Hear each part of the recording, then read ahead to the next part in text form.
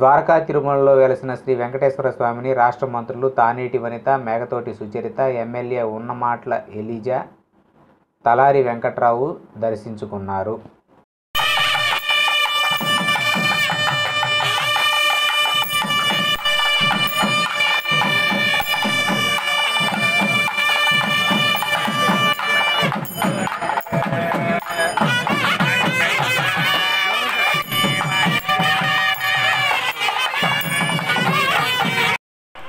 Narro, narro, narro, dale.